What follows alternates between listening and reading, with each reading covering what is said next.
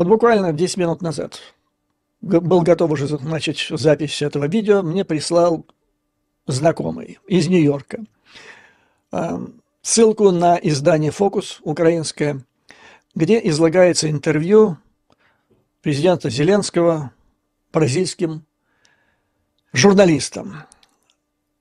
Это интервью опубликовано 20 апреля, то есть тот день, когда Конгресс Соединенных Штатов, Палата представителей утверждала помощь Украине, возможность которой еще неделю назад мало кто верил, я это точно знаю как факт, потому что я присутствовал в этом информпространстве и, и, и, и видел, кто какие значит, питает по этому поводу предчувствия. Так вот, значит, как раз когда Конгресс, когда здоровые силы в Конгрессе США боролись с нездоровыми за помощь Украине, президент Зеленский дал интервью, которое, вот фокус, фокус озаглавило так. Зеленский о двойных стандартах в политике. Здесь Зеленский сравнивает, как союзники помогли Израилю отразить э, атаку Ирана, одной из самых мощных воздушных атак, которые были за последние годы, но если брать вот одноразовую только атаку, с тем, как Запад помогает Украине, помогает или не помогает. И размышление Зеленского сводилось к тому, что наблюдаются двойные стандарты. То есть Израилю все, а вот Украине ничего. Это, значит, он все сразу отмел на двойные стандарты. Но меня расстроило это интервью. То есть э, вместо того, чтобы говорить о позитиве, дали, дали наконец-то помощь, надо говорить то, что делать дальше.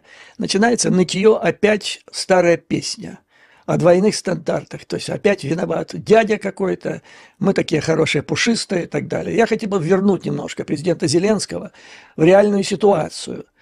Для того, чтобы, то есть, понимаете, нельзя требовать любви к себе – Нельзя требовать, чтобы кто-то с тобой дружил как с лучшим другом. Этого нужно добиваться. Нужно добиваться своими силами. Нужно сделать так, чтобы тебя полюбили, тебя зауважали. И тогда не будет двойных стандартов. Чтобы к тебе относились так, как вот к Израилю Америка, надо быть Израилем. Нужно уметь выстраивать отношения. Вот израильская элита, нужно иметь израильскую элиту в Украине на Банковой, которой, к сожалению, нет. Все лучше уехали. Остались Майму, Тешу Майму. Вот в чем вся проблема. Израиль 16 лет занимался подготовкой, вот как писали в аналитике американские, э, по поводу удара или отражения иранского удара. 16 лет выстраивали многоярусную систему противовоздушной и противоракетной обороны. Вот это у них было великое будівництво – они не разворовывали иностранную помощь. У них нет батальона Монако.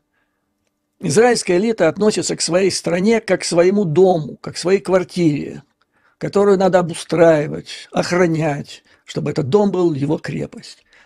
Чем занималась в это время украинская элита, а последние три года элита президента Зеленского? Мы все хорошо знаем. По этому поводу не надо даже мне вам рассказывать сказки. Поэтому, если ты так сам относишься к своему дому, то почему ты думаешь, что какой-то дядя Заморский должен о твоей безопасности думать и заботиться больше, чем ты сам? Это первое.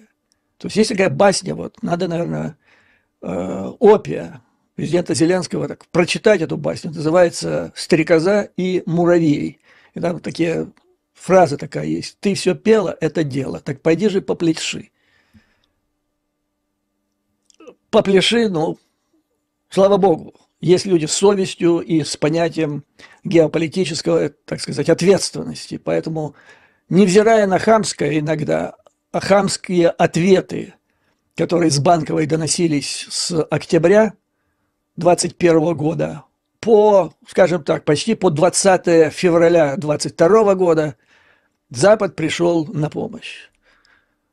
Ну и мы знаем, что после этого последовало. Последовало то, что Зеленский потом в одном из интервью сказал, ну это ж это же разворовываются не ваши доллары, не ваши деньги, а это, это мы типа разворовываем свои гривны. Это неправильно, это никого не ведет в заблуждение, потому что украинский бюджет вот сейчас зависит примерно на 60-70% от вливания долларов и евро.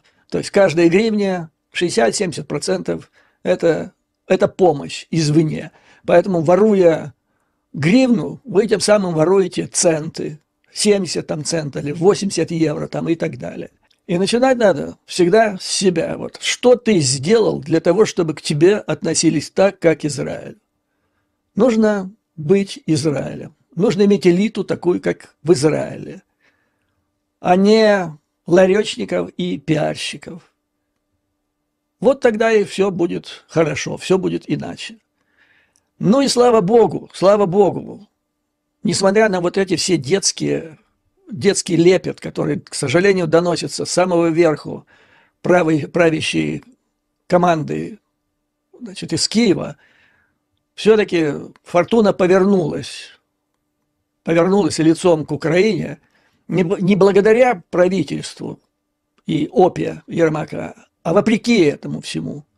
Потому что ну, то, что сделал последнее, буквально шаг администрации Зеленского, это вообще вопиющий, вопиющий поступок, который ну, трудно так спокойно объяснить.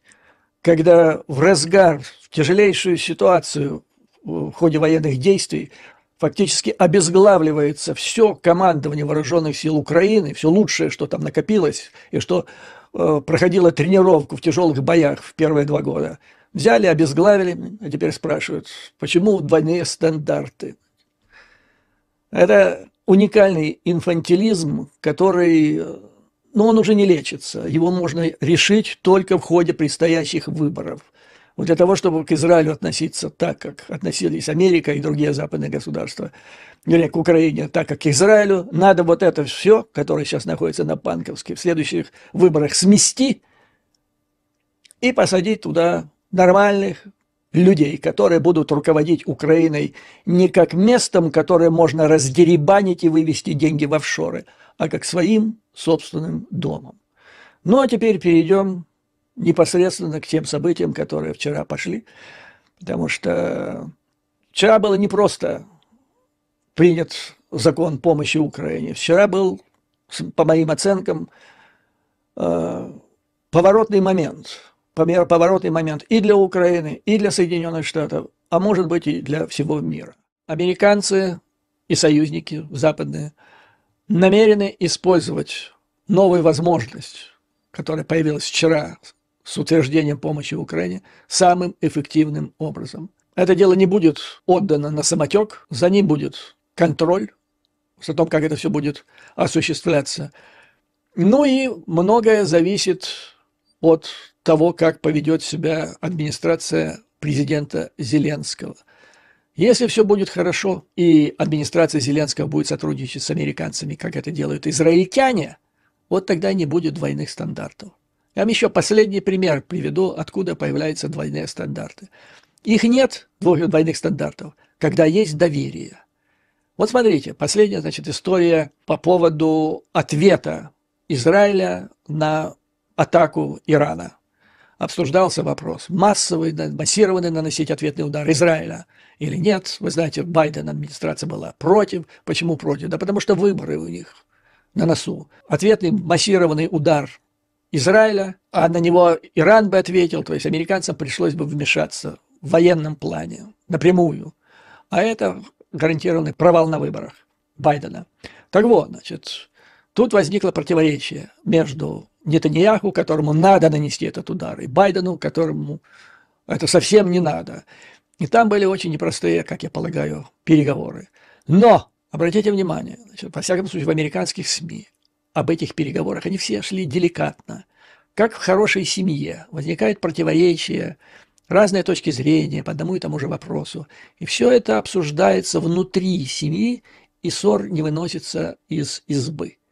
Вот это и есть доверие. Это и есть отношение союзников.